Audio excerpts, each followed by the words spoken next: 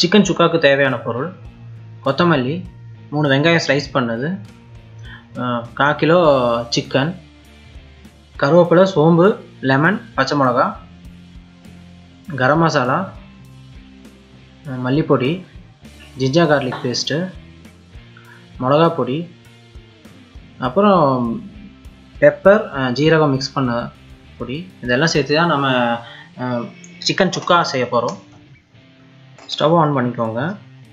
நீட்டாக ஒரு வெசல் எடுத்துகிட்டு அதில் நான் சன்ஃப்ளவர் ஆயில் யூஸ் பண்ணுறேன் ரெண் மூணு ஆனியன் நான் எடுத்துருக்கிறேன். அதில் ரெண்டு ஆனியன் வந்து ஃப்ரை பண்ணி எடுக்க போகிறேன் ஸ்லைஸ் பண்ணதை வந்து நீட்டாக ஃப்ரை பண்ணி எடுக்க போகிறேன் இந்த ஃப்ரை பண்ணி எடுக்கிற இந்த ஆனியனோட டேஸ்ட்டு தான் வந்து இந்த சிக்கன் சுக்காவுக்கு வந்து சூப்பராக இருக்க போகுது. நல்லா ஃப்ரை பண்ணி எடுங்க. கருகாமல் பார்த்துக்கோங்க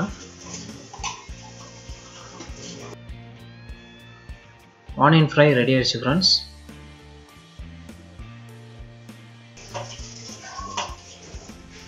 மஞ்சத்தூள் மிக்ஸ் பண்ண சிக்கனில் ஜிஞ்சர் கார்லிக் பேஸ்ட் வந்து ஒரு ஸ்பூனும் பெப்பர் ஜீரகம் மிக்ஸ் பண்ண பவுடர் வந்து ஒரு ஸ்பூனு மல்லிப்பொடி ஒரு ஸ்பூனு அப்புறம் கரம் மசாலா அரை ஸ்பூனு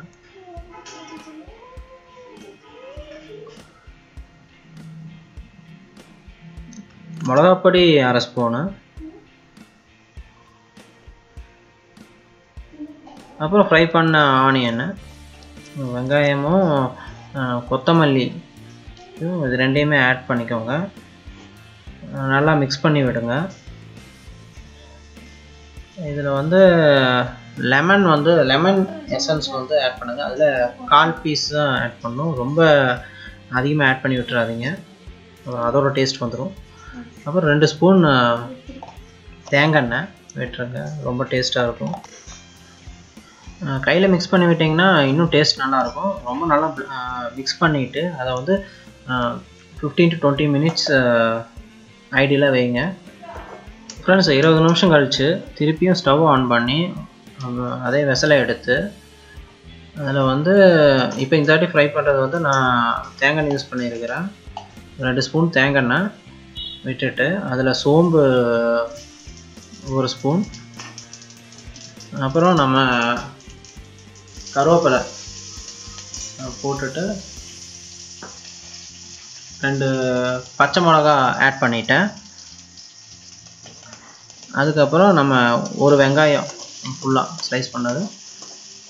நீட்டாக ஃப்ரை பண்ணி விடுங்க. அதுக்கப்புறம் வேணுங்களாலும் கொஞ்சம் உப்பு ஆட் பண்ணி விடுங்க.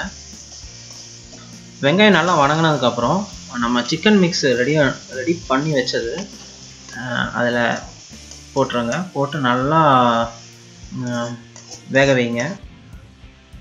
ஒரு பதினஞ்சு நிமிஷம் பக்கம் நல்லா வேக வைங்க. இடையில நீங்கள் செக் பண்ணி பாருங்கள் நல்லா வெந்துருச்சா? டேஸ்ட் எப்படி இருக்குன்னு. உப்பு பத்தலைன்னா நீங்கள் உப்பு ஆட் பண்ணிக்கோங்க. சிக்கன் பவுடர் உங்களுக்கு ஆட் பண்ணணுன்னு இருந்ததுன்னா தோணுச்சுன்னா அதையும் நீங்கள் ஆட் பண்ணிக்கலாம். டிஃப்ரெண்ட்டான ரெசிபி ஃப்ரெண்ட்ஸ் ட்ரை பண்ணி பாருங்கள் ரொம்ப டேஸ்ட்டாக இருக்குது.